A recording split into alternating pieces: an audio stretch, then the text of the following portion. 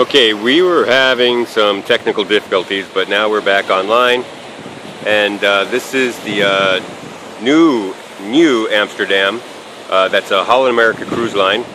And uh, it has just come out. It's the third ship today, Sunday, the 27th of January 2013. And we have another ship coming out in the sunrise there. Hard to see.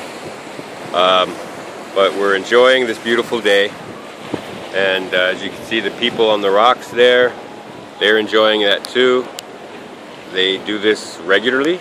There's some people that come here every weekend. Uh, we know there's some pros up here in the balconies and uh, they have their own horns that they toot when the boats go by. It's very fun over here. And we have everything's working out really well now.